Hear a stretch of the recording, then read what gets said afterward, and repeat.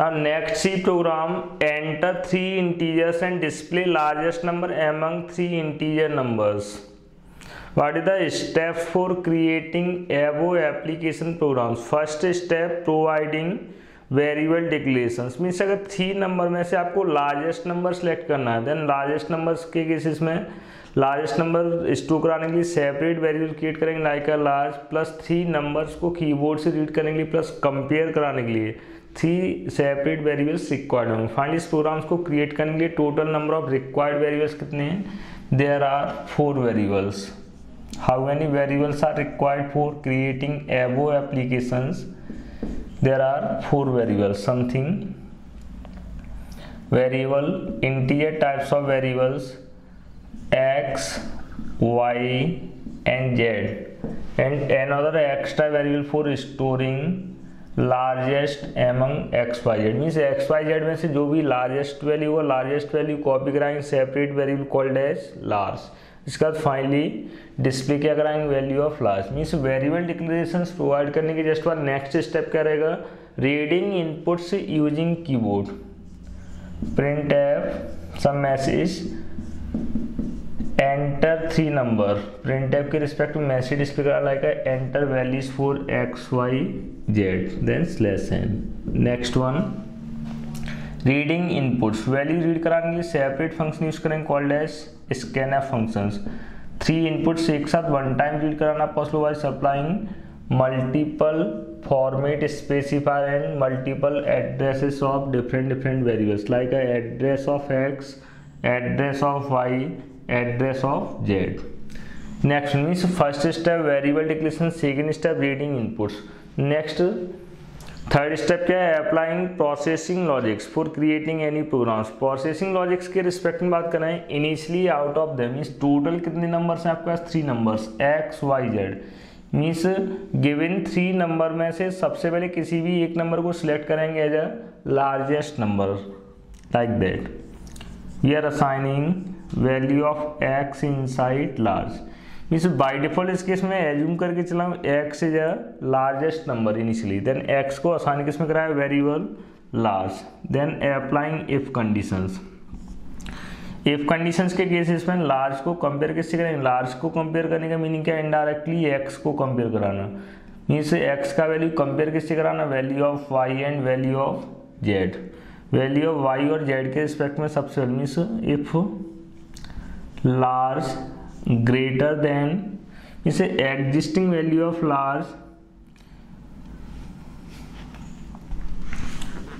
check करेंगे किसके लिए? Y के लिए।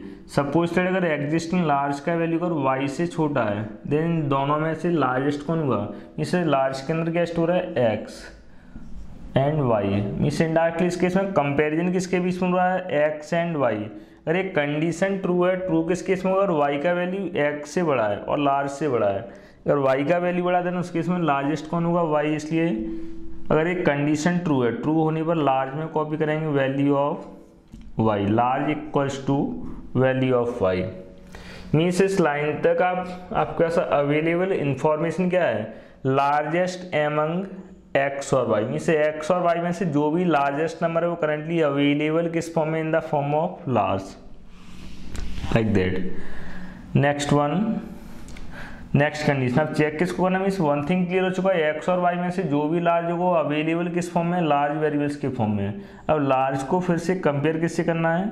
If an other conditions if current value of large less than Z अगर जेड का वैल्यू लार्ज से बड़ा है। या लार्ज का वैल्यू जेड से छोटा देन इन दोनों में से लार्जेस्ट कौन हुआ?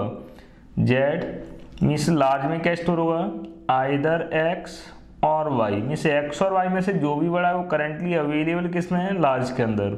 ना लार्ज को कंपेयर किससे करना है? जेड से। देन नेक्स्ट टाइम जेड से कंपेयर करने पर अगर कंडीशन ट्रू है तो नेक्स्ट लार्जेस्ट नंबर कौन होगा इस तीनों में से? Finally Z next time large में कैसा निकाल लेंगे? Value of Z finally display कराएँगे value of largest number means largest number is percent D. Value of variable large,